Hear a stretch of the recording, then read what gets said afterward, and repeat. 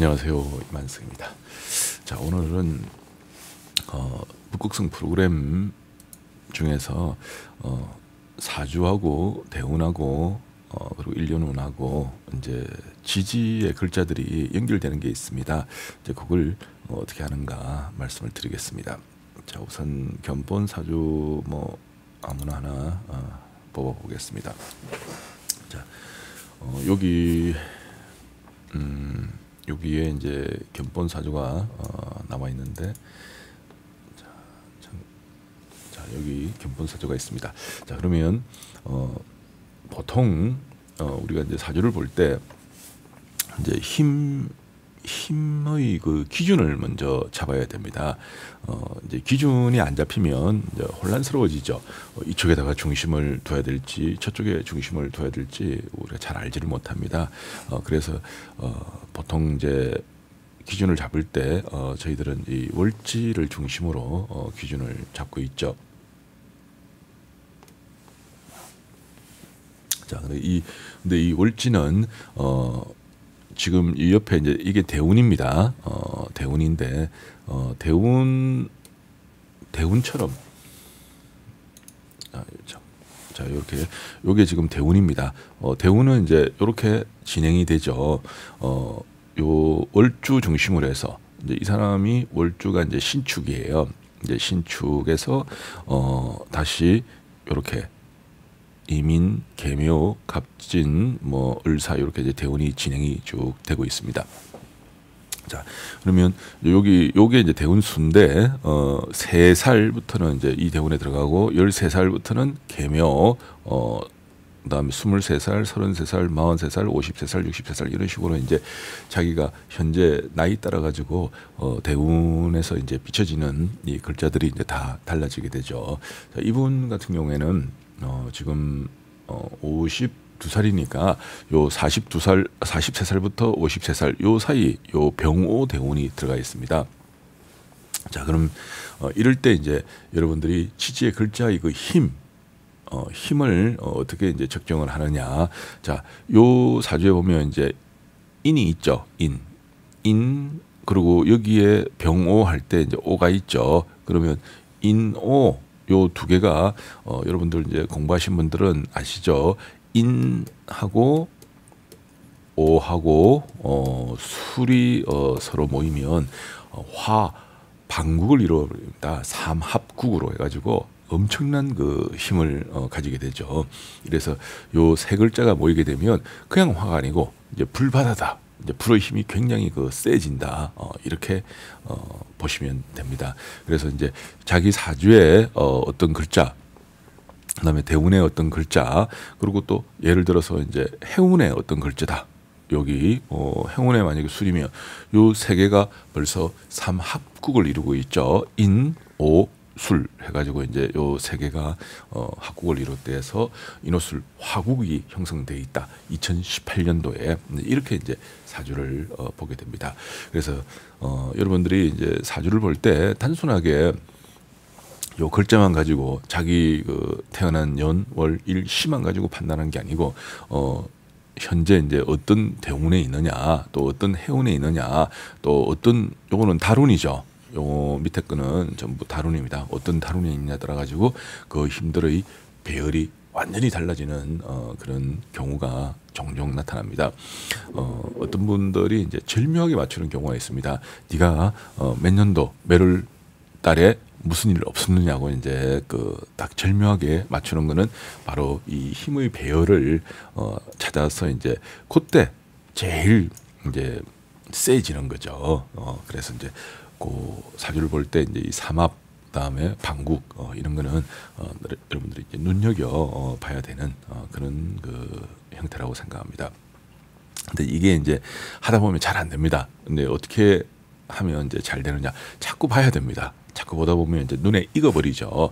어, 익숙해진다, 길들여진다, 훈련이 된다. 이제 이런 어, 말입니다. 그래서 어, 자꾸 보면 어, 요 글자들이 그냥 눈에 그냥 저절로 보여요. 어, 여러분도 뭐 내가, 뭐 내가 특별히 이렇게 신경을 안 써도 그냥 뭐 한눈에 어, 보인다 이렇게 이제 보시면 어, 됩니다.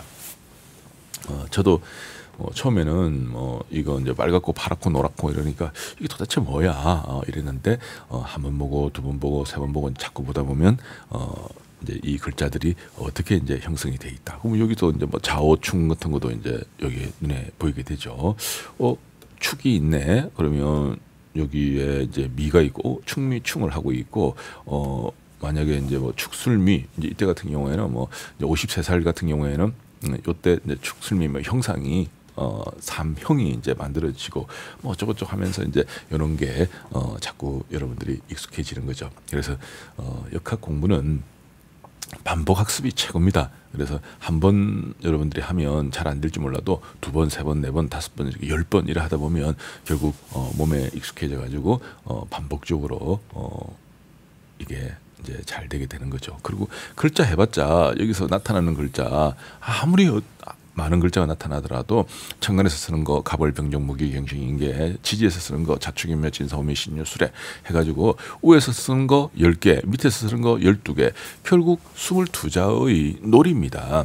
여기도 마찬가지입니다. 어떤 글자가 나타나더라도 어 위에서 10개, 밑에서 12개. 그 위에서 10개를 갖다가 우리는 10간 어, 지지의 글자를 어, 10이지.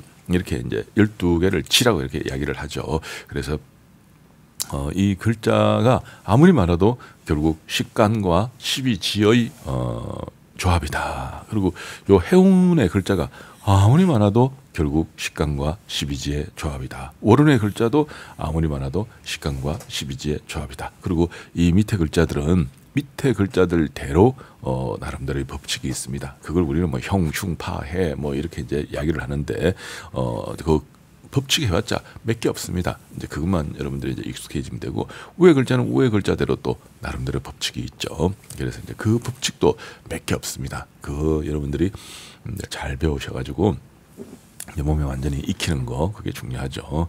어 그리고 이제 이 사주에서 이제 대운 보는 거, 대운에서 또 해운 보는 거, 해운에서 월운 보는 거 이것도 법칙이 몇 개 없습니다. 그래서 이제 그것도 어 여러분들이 익혀가지고 어 그럼 이제 어, 뭐 이거 몇 개 없고 몇 개 없고 다 합하면 그 법칙이 그래도 뭐한 5, 6개 정도 되거든요. 그거를 어, 여러분들이 이제 잘 어, 얼마나 이제 숙달을 하느냐 이 그게 어, 관건이 아닌가 어, 이런 생각이 듭니다. 그래 역학 공부는 어, 이는 숙달이에요. 예.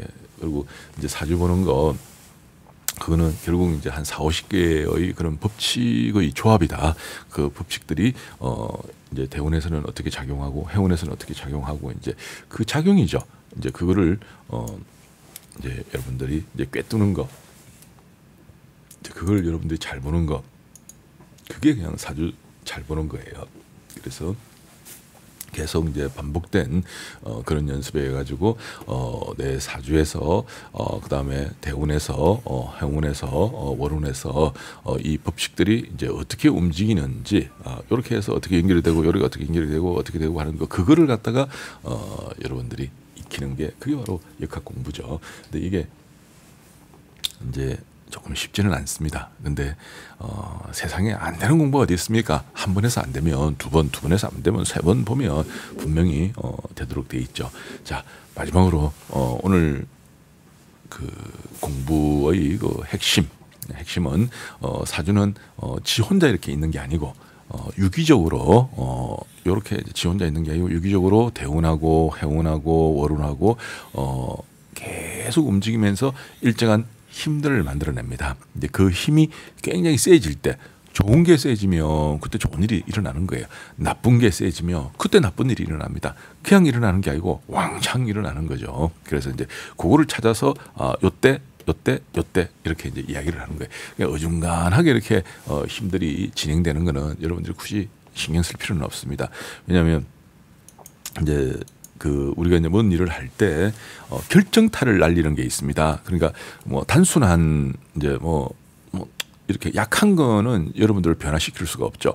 이제 어떤 특정한 운에서 어, 결정타를 날리는 거 어, 그런 게 보통 삼합 방국 뭐 이런 거에서 결정타를 날리게 되죠. 이제 그런 것들을 찾아내야 됩니다.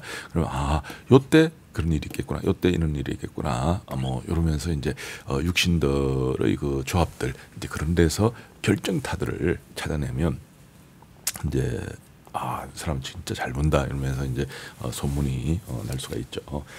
자 이제 오늘 그 이렇게 이제 사주는 유기적이다는 거 어, 그거에 대해서 조금 말씀을 드렸습니다. 제가 이제 이렇게 뭐 탐나는 대로 뭐 조금 조금씩 어, 이런 이야기들을 한번 해보려고 합니다.